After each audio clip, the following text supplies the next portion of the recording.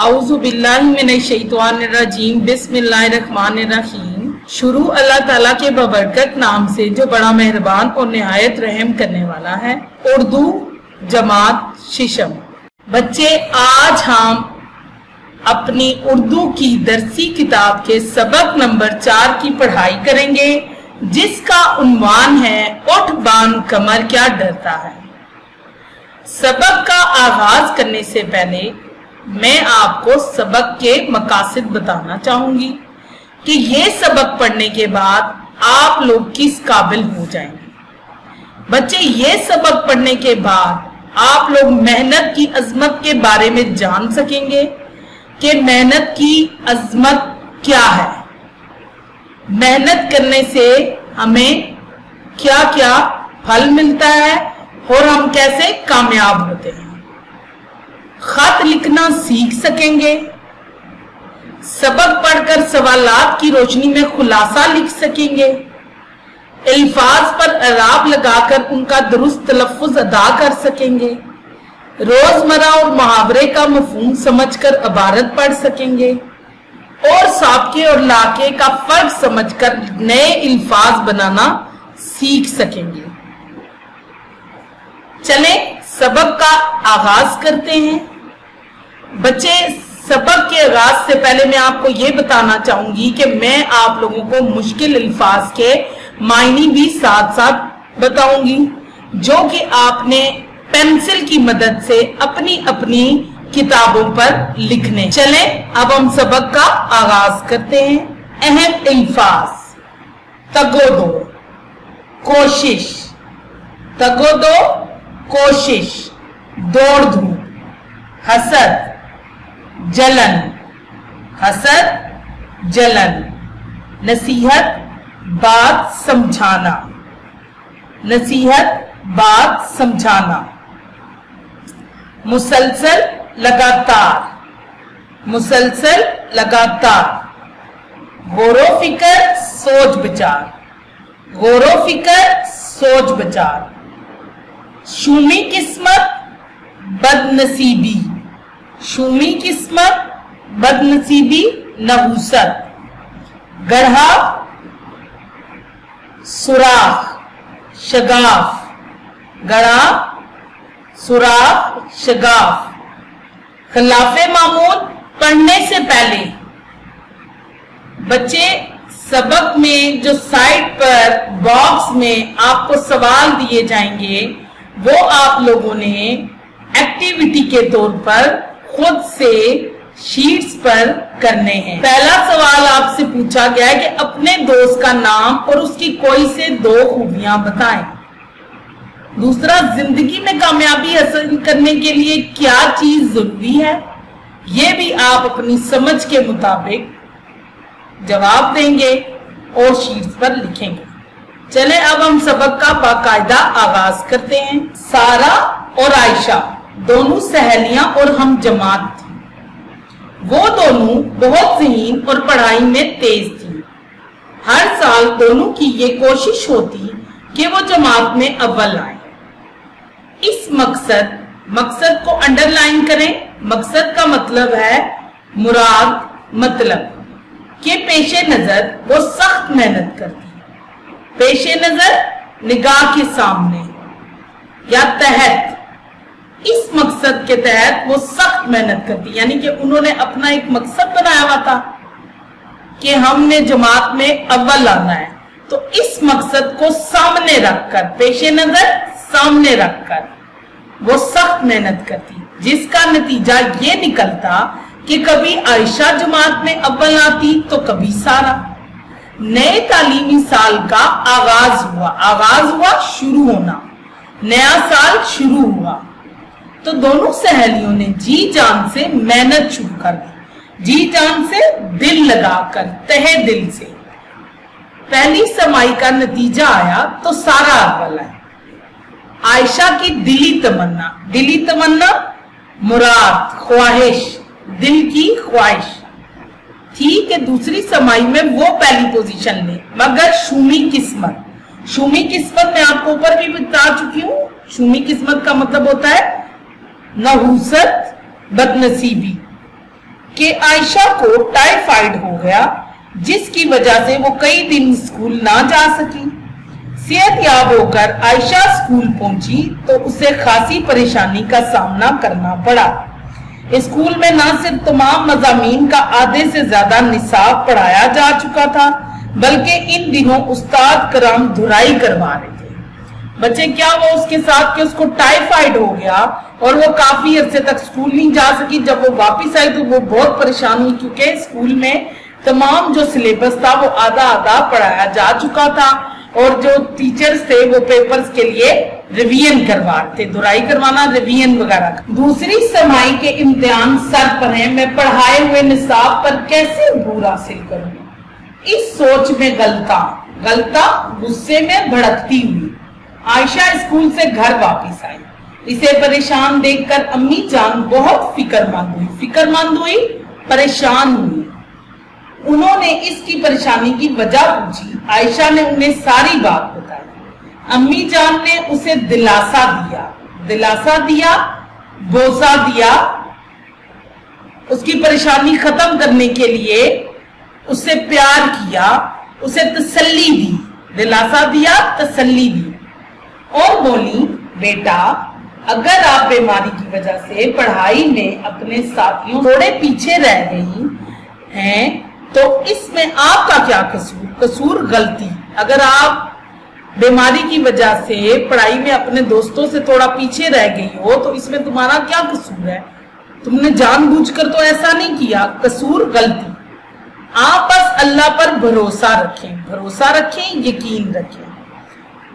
इनशाला आपको ज़रूर कामयाबी मिलेगी। अम्मी जान की बातों से आयशा को हौसला बपुर अज्म हो गई। पुर अज्म हो गई, यानी कि उसे उम्मीद हो गई, वो तसल्ली में आ गई कि मैं अब कुछ ना कुछ कर सकती हूँ।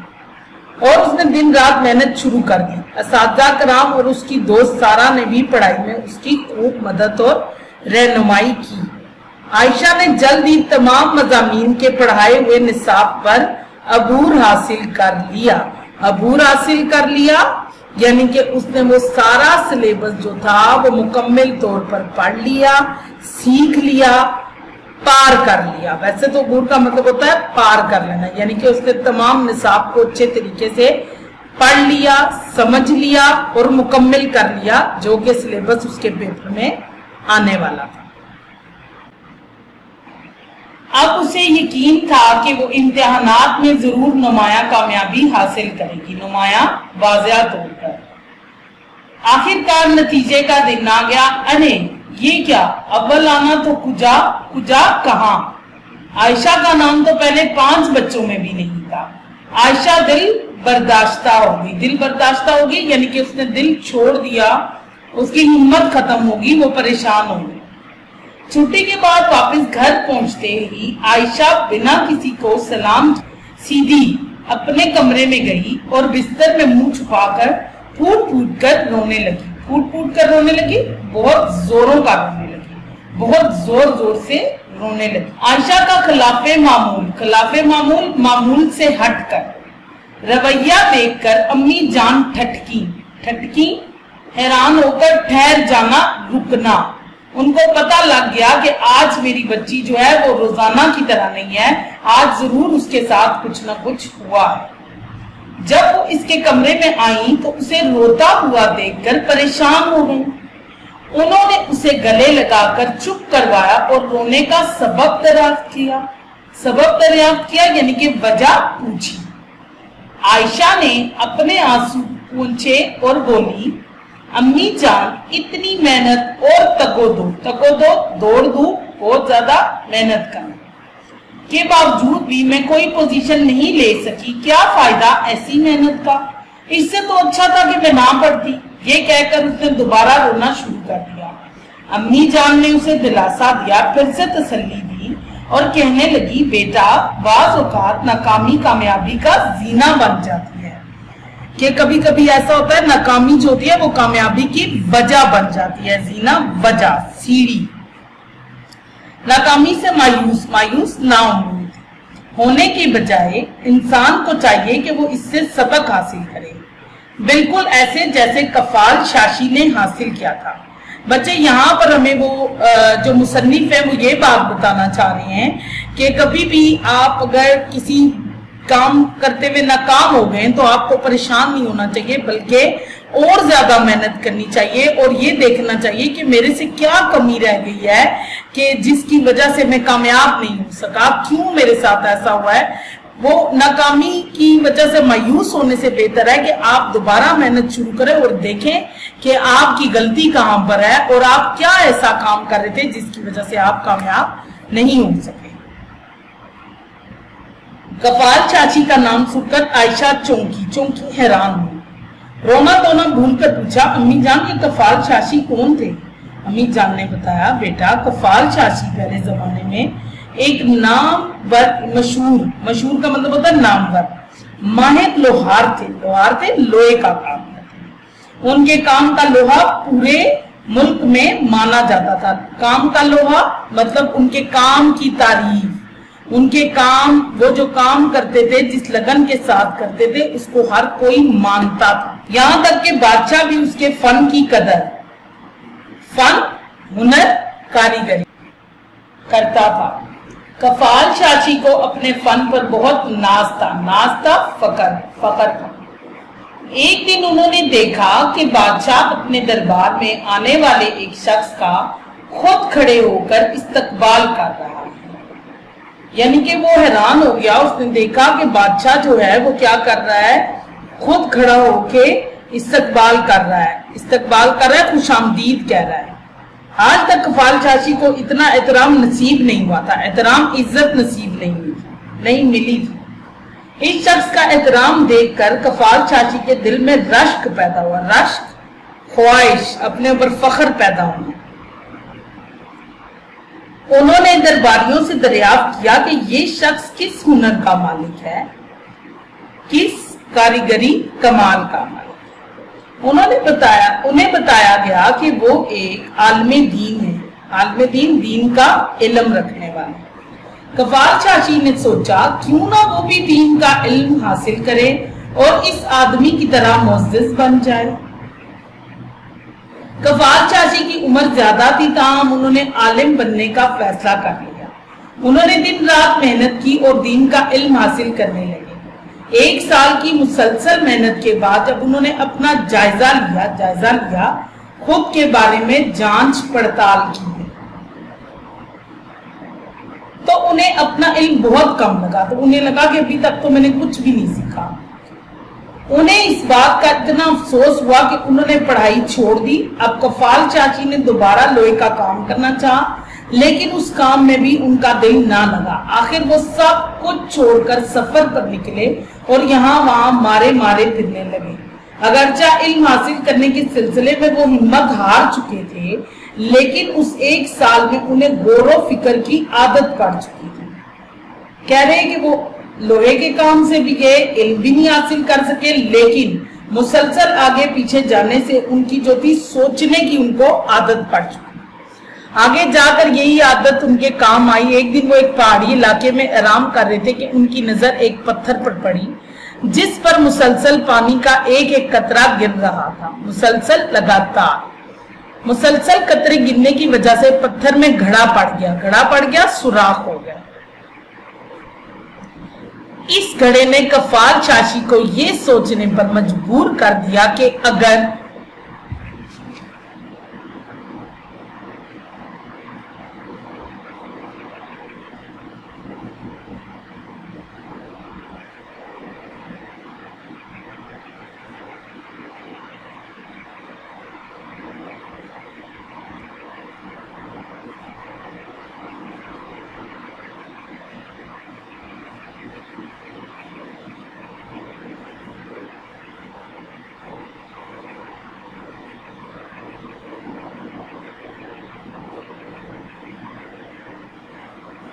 वो भी पानी के कतरे की तरह मुसलसल मेहनत करता तो क्या कामयाब ना होता? इस ख्याल ने उनके अंदर एक नया जज्बा पैदा किया, जज्बा उम्मीद बलबला और वो दोबारा हसूल इल्म में मशगूल हो गए। इल्म हासिल असूल इल्म हासिल करने मसरूफ मजबूल मतलब मसरूफ उन्होंने मुसलसल मेहनत की और बहुत से अलूम पर दस्तरस हासिल की देखिए बच्चे, वो सोच रहे थे कि वो कुछ नहीं कर सकते, वो नाकाम हो गए हैं। उन्होंने अपना काम भी छोड़ दिया है लेकिन एक पत्थर से उन्होंने ये सबक सीखा। पत्थर को देख करके नहीं, अगर मुसलसल मेहनत की जाए तो इंसान एक ना एक दिन कामयाब ज़रूर होता है। लेकिन उसका एक वक्त होता है, ये नहीं कि वो आज सोचे और कल उसको वो फल मिल जाए, नहीं। उसके लिए खूब तगो दो और मेहनत करना पड़ती है, जैसा कि कफाल चाची ने की उन्होंने मुसलसल मेहनत की बहुत से लूम पर फिर क्या हुआ उनकी मेहनत का नतीजा ये निकला कि उन्होंने बहुत से अलूम पर जो थी वो अबूरा से कर लिया। अब वो कफाल चाची से, लामा कफाल चाची बन चुके थे। पूरे मुल्क में इल्मो अदब के हवाले से उनका कोई सानी ना था। सानी ना था, उन जैसा ना था। हर जगह उनका नाम इज़्ज़त और एहतराम से लिया जाता था। यानी कि हर कोई उनसे बहुत इज़्ज़त और एहतराम से बात करता था।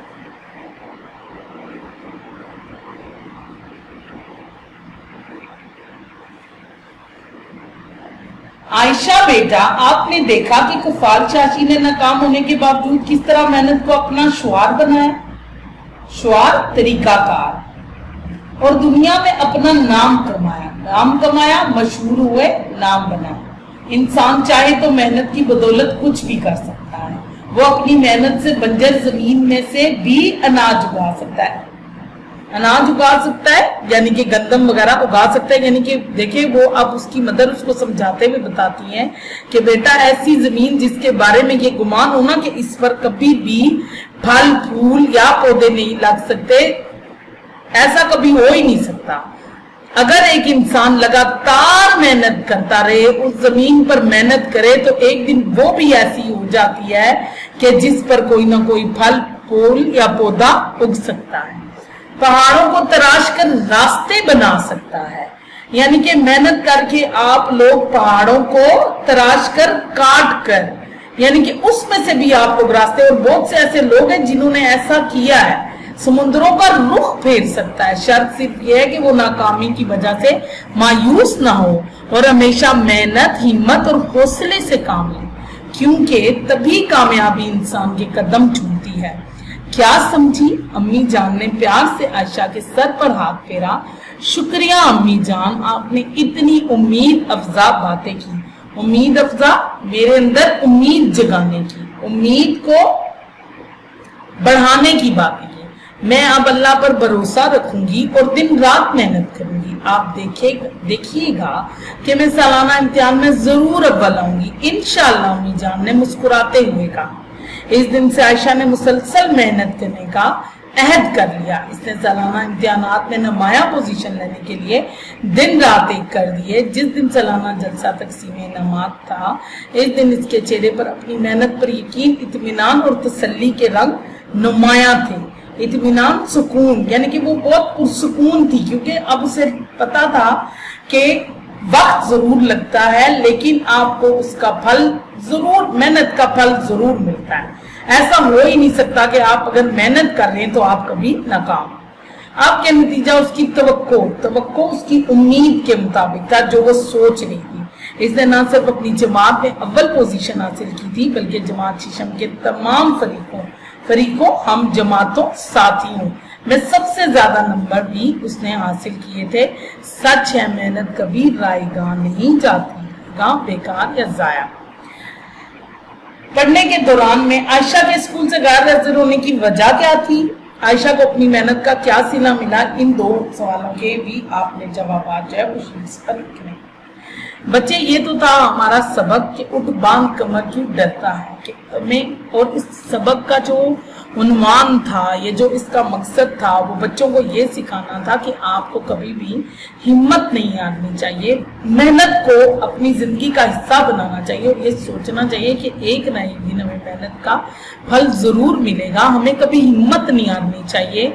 हमें हमेशा अपनी मेहनत को और ज़्यादा करना चाहिए। अगर हम कामयाब नहीं हो रहे तो हमारी मेहनत में कोई कमी होगी, जिसकी वजह से हम कामयाब नहीं हो रहे। उम्मीद करती हूँ कि आप लोग भी इसी तरह मेहनत करके अपनी ज़िंदगी में आगे बढ़ने की कोशिश करेंगे।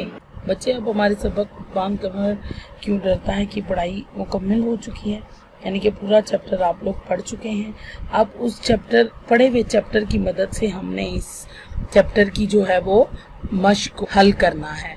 तो अब हम मश्क को हल करते हैं। खास अल्फाज, मायनी सीखें।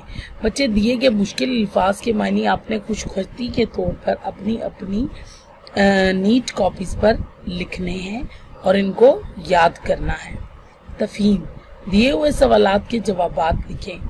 इन सवाल के जवाब के आपको नोट्स दिए जाएँगे, जो कि साफ़ सुथरी राइटिंग में आप लोगों ने अपनी नीट कॉपीज पर उतारने चले नेक्स्ट क्वेश्चन की जानी बढ़ते हैं। नेक्स्ट क्वेश्चन क्या है आपका? सबक के मुताबिक दुरुस्त जवाब के सामने टिक और गलत जवाब के सामने गलत का निशान लगाएँ। यानी कि क्रॉस का निशान लगाएँ। अब बच्चे, सबक आप लोगों ने पढ़ा, पढ़कर आपने उसमें बहुत कुछ सीखा भी और आप उस सबक के मुताबिक इन सवालात, ये जो आपसे पूछी गई हैं चंद बातें, उनको पढ़कर सबक के मुताबिक जवाब देंगे कि आया ये बात सही है या गलत है। अब देखते हैं, पहला पॉइंट क्या है हमारे पास? पहला पॉइंट है, आयशा और सारा दोनों जुड़वा बहनें थी। क्या ऐसा ही था? नहीं। वो दोनों दोस्तें थी। क्रॉस का निशान लगाएँ। मुसलसल मेहनत की बदौलत आयशा ने तमाम मजामीन के निसाब पर अबूर हासिल कर लिया तो ऐसा ही था उसने अबूर हासिल कर लिया था। टिक का निशान लगाएँ। कफाल चाची ने आने वाले शख्स का खुद खड़े होकर इस्तकबाल किया। नहीं बच्चे, ऐसा नहीं था, वो बादशाह ने इस्तकबाल किया था। कफाल चाची ने नहीं किया था। इसलिए इधर क्रॉस लगाएँगे। कफाल चाची ने मुसलसल मेहनत की और बहुत से अलूम पर दस्तरस हासिल की। जी हाँ बिल्कुल, ऐसा ही था। तो इधर टिक का निशान लगाएँ।